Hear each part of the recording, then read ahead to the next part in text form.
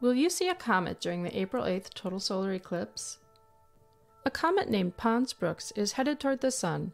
It'll make its closest approach to the Sun just 13 days after the April 8th total solar eclipse. So the comet will be at its brightest in April. Will it be bright enough to see when the sky is darkened during the total solar eclipse?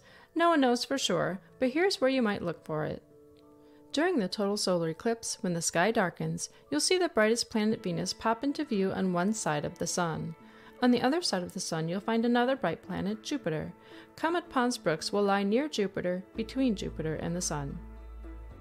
The comet orbits the Sun once every 71 years. At its farthest, it approaches the orbit of the seventh planet Uranus, and at its nearest, is closer to the Sun than Earth. As Comet Pons Brooks has hurtled inward toward the sun, it's gone through brightness outbursts. At times, it's had a temporary horn like appearance. That's earned it some fun nicknames, including the Millennium Falcon and Devil Comet. Pons Brooks isn't a new comet. Jean Louis Pons discovered it back in 1812, and William Robert Brooks rediscovered it in 1883.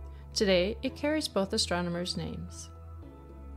By the way, comet discoveries sometimes happen during eclipses. In the 19th century, several different bright comets found during eclipses all bore the name eclipse comet.